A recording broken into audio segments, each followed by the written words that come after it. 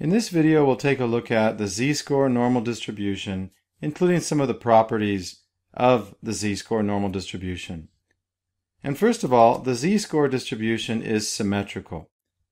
And what that means is if we define the area under this curve as 100% or 1.00 if we're speaking in terms of proportions, that means that all of the values are underneath this curve or within this curve.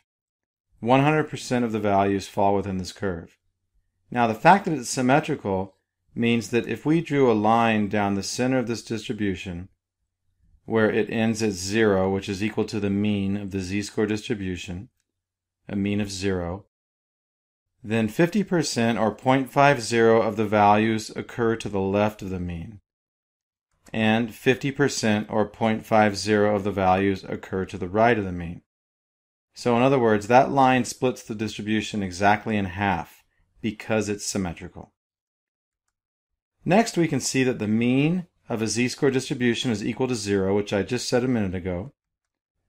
So the mean is equal to 0, and the standard deviation is equal to 1. Now here on your screen, we're using the population symbols the Greek symbols for the mean. This is called mu is equal to 0 and sigma or the standard deviation is equal to 1. And then finally, the mean, the median, and the mode are all equal in a z-score distribution.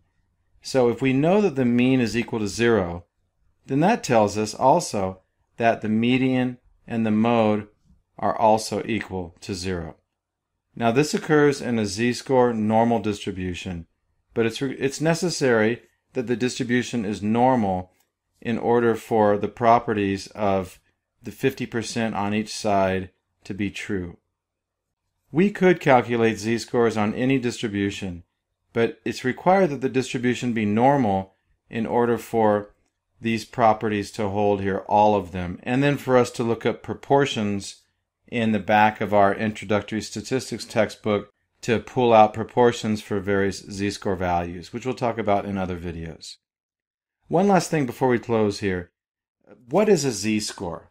Well, a z-score tells you how far away a value is in terms of standard deviations from the mean. Let me show you what I mean there.